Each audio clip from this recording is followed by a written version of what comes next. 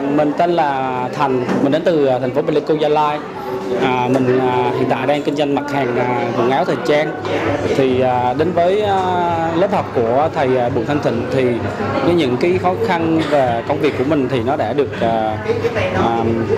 đã được đã được à, một phần nào đã, đã được là là thầy hướng dẫn tận tình về cái cách mình đã triển khai kinh doanh online về những cái mặt hàng à, thời trang của mình thì à, qua 4 ngày học đó, thì mình à,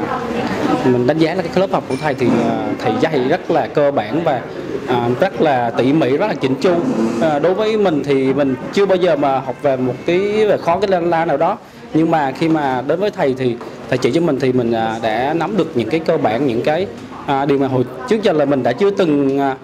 chưa từng gọi là chưa từng à, chưa từng à, giao tiếp lần nào chưa từng học hỏi lần nào thì mình còn rất là bỡ ngỡ về cái kinh doanh online mà khi mà đến với thầy thì về khóa học Facebook app này thì mình đã tự tin vân về cái vấn đề mà ra đơn hàng cho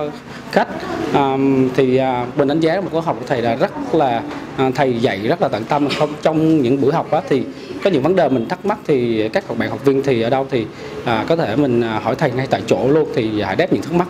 trong buổi học và những cái à, câu hỏi mà liên quan ngoài bài học thì kiến thức của mình thì thì vẫn sẵn lòng để mình trả lời cho các học viên. Thì đó là mình rất cảm ơn thầy về về điều đó. À, cảm ơn thầy về những cái mà mà mà thầy đã dạy bốn ngày qua. Ừ, cảm ơn.